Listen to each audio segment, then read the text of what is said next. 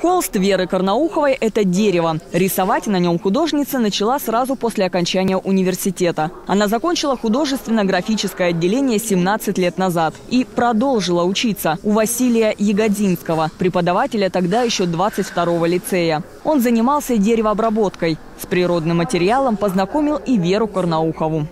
Первоначально работы, они были э, в коричневом цвете, однотонные, то есть я так воспринимала дерево. И оно было вот более такое вот, э, называется монохромное вот в этом цвете. Потом только начала вводить цвет в дерево другой, потому что дерево не белый материал, и может быть какие-то цвета не воспринимает, то есть они, они меняются на дереве. Дерево для Веры Карнауховой не просто материал. Это ее соавтор. Ведь у каждой доски свои неповторимые узоры. И самое главное в работе – сохранить этот рисунок. Художница связывает линии дерева в единый сюжет. И тогда на поверхности появляется бурная река, крутая гора или лицо женщины. Первоначально здесь на поверхности дерева, э, на, на фоне этих глаз были сучки дерева.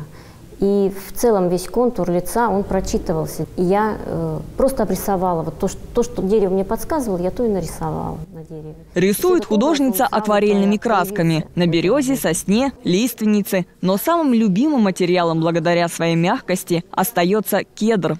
Я сама умею полностью весь цикл работ сделать.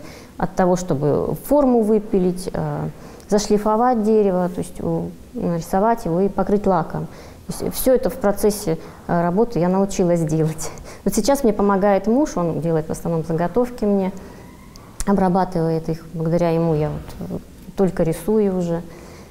Свои работы Вера ежегодно представляет на выставке «Интурмаркет» в Москве. В год художница пишет порядка 20-30 картин. И почти все они расходятся в руки частных коллекционеров, как российских, так и зарубежных. А еще на своей персональной выставке Вера показала другое направление работы. Ее иллюстрации вошли в книги алтайских писателей.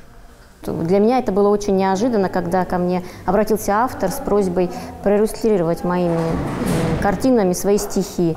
И я не представляла сначала, что это будет, но оказалось, что э, стихи, их смысл очень хорошо совпадает с теми темами, которые я изображаю на дереве. Поэтому у нас получился очень такой творческий тандем, чему я очень рада. Итогом получилась эта книга, которая достала, стала достаточно успешной у нас. Выставка «Природы, женственность и красота» будет работать до 15 февраля, и посетить ее может каждый желающий.